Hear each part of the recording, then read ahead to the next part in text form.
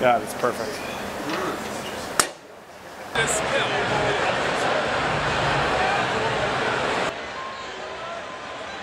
Brian and Patrick don't look like your typical beer brewers.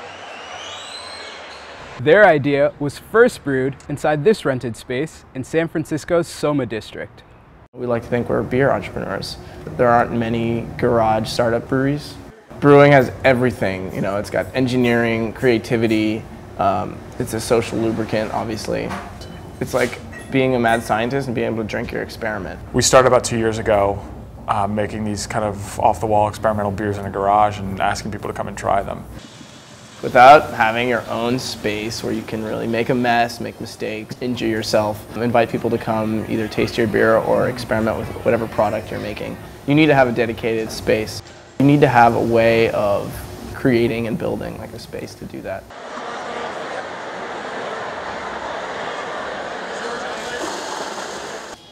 Pac Brew Lab was founded on the principle of making audacious and unique beers. Brian and Patrick weren't only passionate about brewing, they wanted to push the envelope on what could be done to the flavors and style of beer.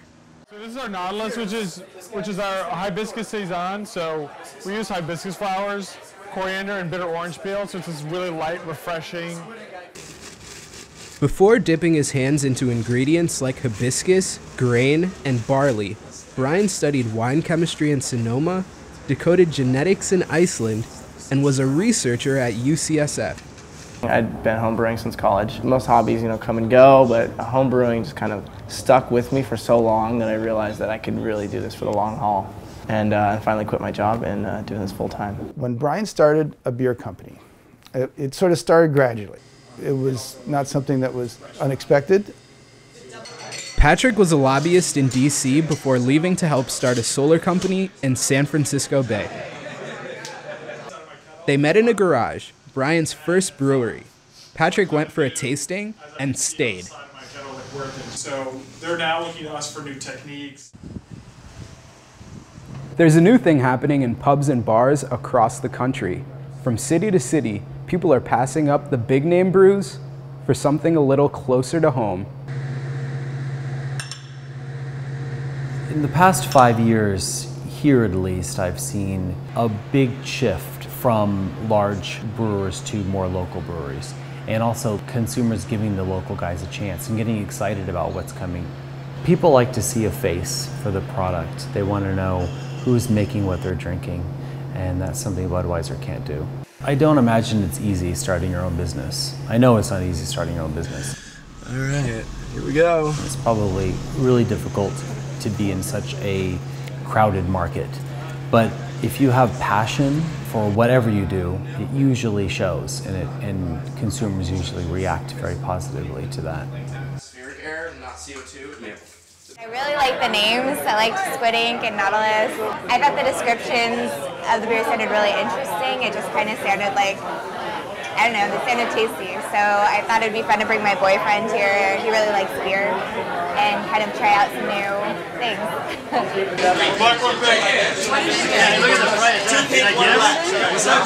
it's not like you know other businesses where it's very competitive and you know each business is, is trying to stomp out the other one. I think breweries are trying to help each other make better beer. Having come a long way from serving their neighbors in that garage, Pac Brew Labs beers are now brewed in a contracted facility and available in over 20 of the Bay Area's most popular restaurants, bars, and beer stores. They're a fixture at local beer festivals and even teach what they've learned.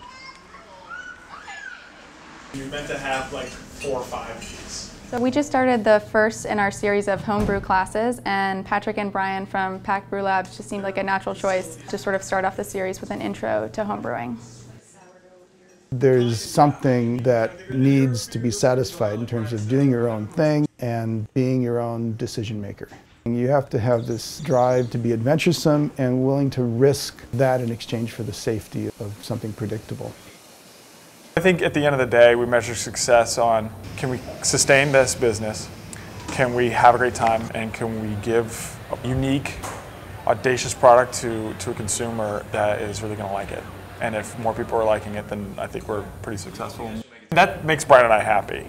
Seeing people satisfied with something that we've made makes us happy.